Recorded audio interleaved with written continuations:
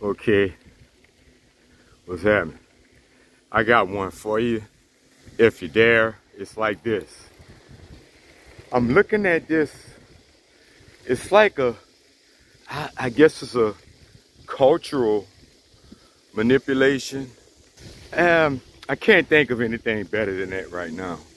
But like, you know, a little unified thing. Like, like, if you be hearing me at this part, I, I have a couple little gripes or whatever. Yeah, it ain't really no big deal, but like when I get off the bike and I walk and push the bike, which I've done all the time, you know. However, when you're not going that far, you really don't have that much to worry about. And plenty of times I wasn't riding that far at all. Or maybe it just was my timing. I don't know. But I get this thing with people like, you are right, you are right, you are right. I could almost, I could almost see it when I'm far. But I just started from the beginning of there, unless from the beginning of there was some end for me, and I'm really started from here.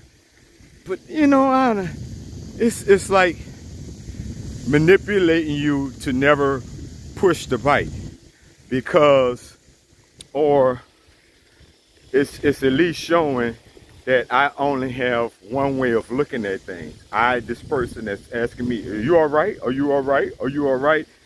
Those people, definitely not everybody, but those people can only look at that, hey, I'm psychoanalyzing everybody, whatever.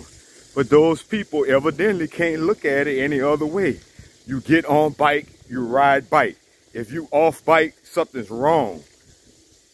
Ain't not, I don't think of anything else. That's all I'm coming up with. You know, and that is not going to be the same thing for you. It's going to come across as something else, obviously, evidently, probably. But if you could relate it to whatever it is that you could relate it to, you know, it is what it is. The goal is just to connect the dots. Maybe you can understand, you know, how we'll find ourselves being manipulated in so many ways by people we don't even know. You're just gonna hop on a bike and ride the bike because you don't want to hear that. Subconsciously, you're just gonna do that. And I have a reason for getting off the bike, but that'll override that for not, and I'm not even realizing what I'm doing, that I'm giving them, you know, giving into their thing. I can only get off the bike if something's wrong. I can't walk. I can never walk.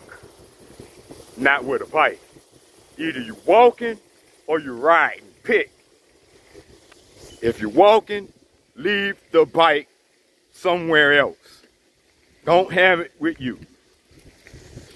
Hey, and um, well, we do that all the time. We have no choice. Don't, only God can judge me. Bullshit you got to judge and discern different people's and different people's intents. And when you're doing the work, which I'm doing the work, I can't help but notice this ridiculous shit.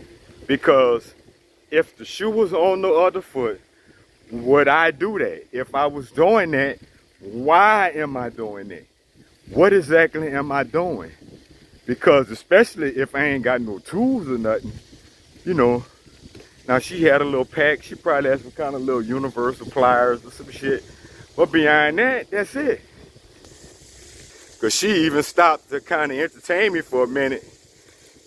Oh wait, like wait, like I was saying before, like you such a hurry. You asked me, do I need help? But you gone. So, and it was her, and then there was another lady behind her. The other lady behind her kind of hear more what I was saying to her. And um, I guess she get it. Leave, look, leave that nigga alone. You know, two white ladies. That nigga said leave him alone. she gonna interpret it, you know. But she has no idea that people do that to me all the time, that I'm out here all the time. I ain't never seen her. Today said she a sad day. Uh, weekend warrior lady must be, and it just happened to be my time catch up with her. And probably not that many weekends. Who knows, you know. you know, there's no law or no rule that says certain things you can't do. And there shouldn't be no law or no rule. It's ridiculous. It's sad that, um, you know, or like I said, people be in the guise of being helpful. I, you know, some people might, it, it could be a lot of things. Yeah, you know, I, I realize that sometimes people simply trying to flirt with you or something. They want you to talk to them. Sometimes maybe they're lonely. They want you to talk to them. But I just, and then, you know, like I said, you moving so fast, or they, they're the one moving fast. You can't, I don't look nothing like I'm in distress. I'm happy. I'm going about my business. I'm pushing my bike.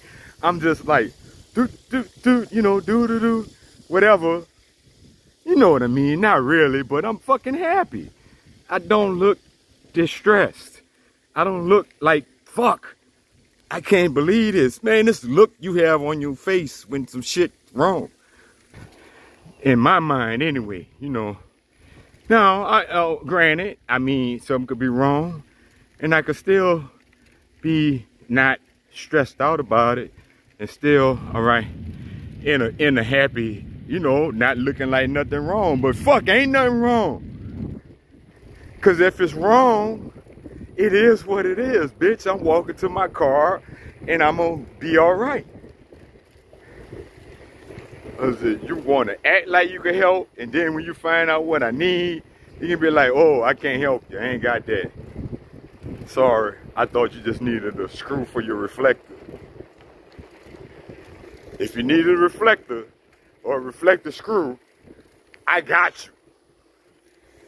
You know, and then not necessarily that person, but like I said, a lot of them, hey, come on, a lot of them be like they about to run over you. They don't give a fuck about nothing. They they act like they actually uh not even training for a race, like they actually in a race in this part. It's just the part. The part where families be at. Mostly you don't see families all the time. But you do in a way, yes. In a way, no. Depends on the day, depends on the time. Families do be out here. People be out here with their children. And nobody shouldn't have to get run over, worry about getting run over by no biker or no pack of bikes because they act like they in, um, you know, competing against, uh, what is face, Lance Armstrong somebody. Yeah, that's my opinion on that, uh, on that manipulation from afar. People you don't know, just the influence, uh, the job culture, the culture at a place, you know, like this is how they do it. We fucked up. We got this messed up way of doing things and everybody in agreement that this is how we do it. We give people a hard time. I'm customer service, but I'm not here to serve you. You know, I don't give a damn.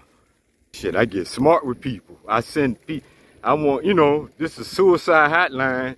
I have motherfuckers killing themselves. You know, these people is crazy, man, in this world. Some shit is ridiculous. But I don't be talking to these people now enough. I guess she's seen like a nice enough lady. You um, know, I don't get, you know, I who knows what she think. If she really cared, she would have put on the, you know, like, look, You can't have it both ways. Put on the brakes right now, right here, and stop and look me in my face ask me if I need help. Don't be paddling past me talking about, do you need help? You alright? Okay. this, I guess, is uh, kind of like how, when people say, how you doing? And we all normally just say, all right, okay everything good, it's all good, something like that, you know. It's very rarely, if ever, that we're gonna say, if, you know, we got problems going on. Well, fucker asked me, man, when I've been stressed out, you know, to that certain point, maybe all of us. Y'all tell man, I'm stressed the fuck out. All right, I'll catch you later. You know, fucker really don't want to know. Like them too us too. Because just say hello, you know, good morning, good evening, and good night. And that's perfectly acceptable as speaking, whatever time of the day is. Don't ask nobody about how they feeling or how they doing if you really don't care about how they doing. You don't have to say anything else but greet them. Hello. You say hello uh three times. Without the uh hi, how you doing? Without the without any time stamp or anything on it, you know? I'm just saying Speaking of the cult of, we it's the culture of pretending that we're concerned. We don't give a fuck about you. Hmm, I'm getting somewhere, I? Digging deep. I'm getting somewhere. So that's all that is. That's how you doing. Cause I see you walking, pushing your bike. I'm gonna ask you uh, extra special how you doing, but I really don't give a fuck. All right. All righty. I'm Cutting it off. Peace out, y'all.